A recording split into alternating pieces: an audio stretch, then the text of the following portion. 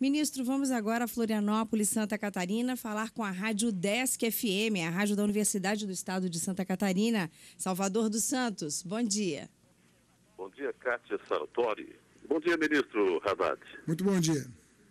Bom, ministro, o, a, minha, a minha questão, ela mais ou menos entra no clima desta anterior. Eu diria que uma das observações do meio universitário é, é, a falta de materialização de projetos de pesquisa, né?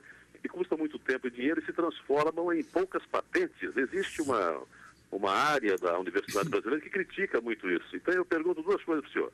Existe uma previsão de alteração dessa rota, de que se transformem em mais patentes essas pesquisas? E, o que, e a sua opinião sobre a internacionalização das universidades? O senhor acha que nós estamos ah, além, a quem, ou estamos dentro da necessidade? As universidades brasileiras, Salvador, têm que se abrir mais para o mundo. Isso não tenho dúvida disso.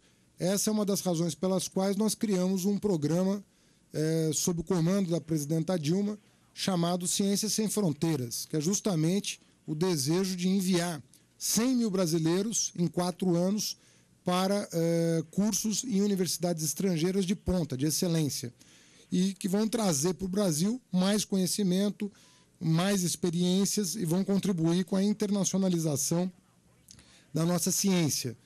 Uh, contudo, há uma anomalia no Brasil. Uh, enquanto no mundo desenvolvido quem registra patentes são as empresas, Aqui a expectativa é que as universidades registrem patentes, o que não é muito razoável. O que nós temos é que promover a inovação no mundo do trabalho, nas empresas. Quer dizer, quem, a, o empresário brasileiro ainda é um pouco refratário à inovação. Nos Estados Unidos, as patentes não são registradas em nome da, das universidades, são registradas em nome das empresas. Né? É, você conhece as grandes empresas é, de inovação no mundo e elas são detentoras das patentes. Aqui a expectativa é que a universidade cumpra um papel que, na verdade, não é dela. O papel da universidade é produzir conhecimento científico. E a nossa universidade está produzindo cada vez mais.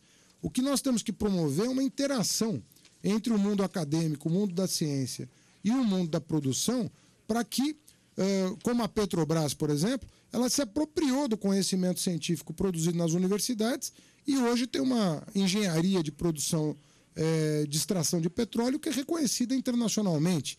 É, quando você pensa, por exemplo, na Embraer, que foi né, lá em São José dos Campos, ela se apropriou de um conhecimento produzido pelo ITA, né?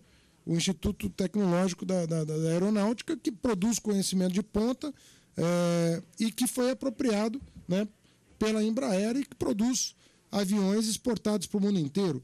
A Embrapa, que é uma empresa estatal, né, uma empresa pública, é, se vale do conhecimento das universidades.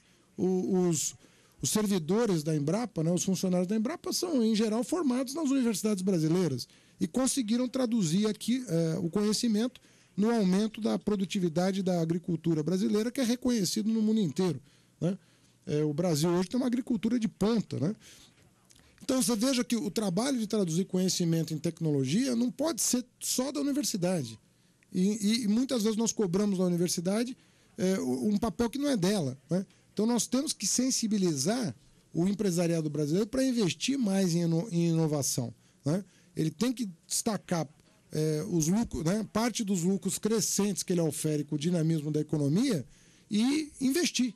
E muitas vezes esse investimento tem que ser feito em longo prazo, porque você não colhe é, resultados do, de inovação no curto prazo. É, você pegar uma empresa como a Apple ou a Microsoft, quanto que eles investem em, em ciência e tecnologia para produzir o que produzem, né?